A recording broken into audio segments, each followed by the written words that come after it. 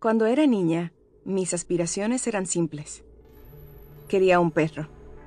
Quería una casa con escalera de dos plantas para una familia.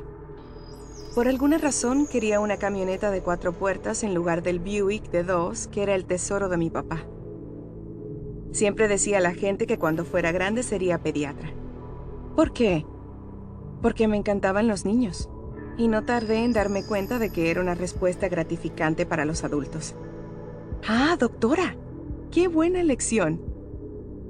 Por aquel entonces me peinaba con dos colitas, mangoneaba a mi hermano mayor y costara lo que costara. Sacaba siempre buenas calificaciones en el colegio. Era ambiciosa, aunque no sabía exactamente a qué aspiraba. Ahora creo que es una de las preguntas más inútiles que un adulto puede formular a un niño. ¿Qué quieres ser cuando seas grande? Como si crecer tuviera un punto final. Como si en algún momento te convirtieras en algo y ahí se acabara todo. Hasta ahora he sido abogada. Trabajé como subdirectora de un hospital y como directora de una organización sin fines de lucro que ayuda a gente joven a labrarse una carrera profesional seria. Fui estudiante negra de clase trabajadora en una elegante universidad cuyo alumnado es mayoritariamente blanco. Fui la única mujer, la única afroamericana en lugares de todo tipo. Fui novia, mamá primeriza estresada e hija desgarrada por la tristeza. Y hasta hace poco fui la primera dama de Estados Unidos. Un trabajo que, si bien oficialmente no lo es, me brindó en cualquier caso una plataforma que nunca habría imaginado. Para mí fue un desafío y una lección de humildad. Me elevó y me empequeñeció, a veces todo al mismo tiempo.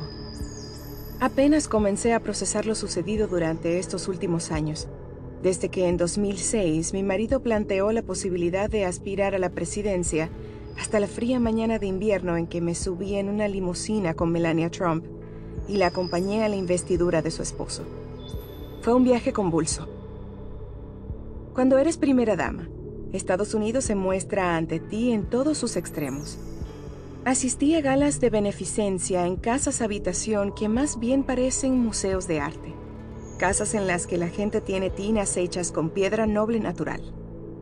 Visité a familias que lo perdieron todo con el huracán Katrina y, entre lágrimas, agradecían tener una nevera y un fogón que funcionaran. Conocí a personas a las que considero superficiales e hipócritas.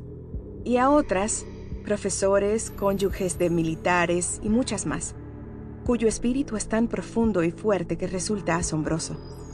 Y también conocí a niños, infinidad de ellos y en todo el mundo, con los que me deshago de risa, que me llenan de esperanza y que, por suerte, se olvidan de mi título en cuanto empezamos a jugar en la tierra de un jardín.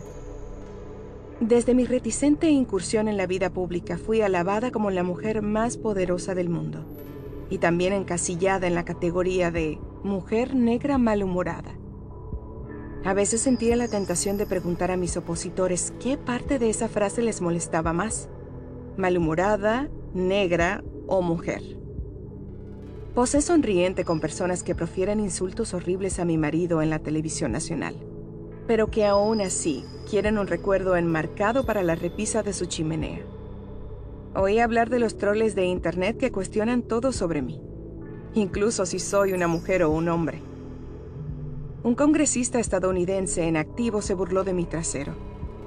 Sentí dolor y rabia, pero casi siempre intenté tomármelo con humor. Todavía desconozco muchas cosas sobre Estados Unidos, sobre la vida y sobre lo que me depara el futuro, pero me conozco a mí misma. Mi papá Fraser me enseñó a trabajar duro, a reírme con frecuencia y a cumplir mi palabra. Mi mamá Marian me enseñó a pensar por mí misma y a utilizar mi voz. Juntos, en nuestro amontonado departamento del South Side de Chicago, me ayudaron a reconocer el valor de nuestra historia, de mi historia, de la historia más general de nuestro país, incluso cuando no es hermosa o perfecta, incluso cuando es más real de lo que te gustaría. Tu historia es lo que tienes, lo que siempre tendrás. Es algo que debes hacer tuyo.